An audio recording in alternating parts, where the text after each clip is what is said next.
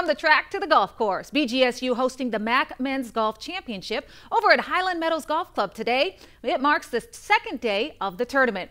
We head to the course, Toledo entering the day in fifth place, lead by Otto Black, who ranks sixth individually. With some spit on his club for good luck, an excellent chip in on the 10th hole for the birdie. However, struggling the rest of the way, 10 would be his only birdie, dropping out of the top 10, finishing the day at 6 over. For Bowling Green, Brett Rinker entering the day tied for 17th.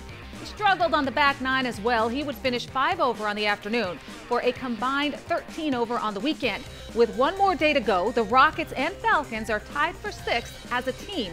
Our Brandon Arroyo was at the course and joins us now to catch us up on day two. Day two of the MAC Championship down here at Highland Meadows Golf Club, bringing with it plenty of struggles, particularly on the back nine. I was able to catch up with the Toledo Rockets individual point leader right now, Mr. Otto Black, and he tells me all about those struggles on the back nine, plus a fantastic chip in that he had on the 10th green. But first, we catch up with BG's Pablo Iglesias, who shot under par today, finishing with a 70, a fantastic second day for him. I think or I feel that I hit the shot that I had to during the course.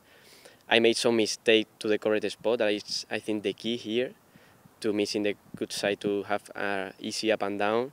And I don't know. I, I think I played really smart, and that's why my score was good today.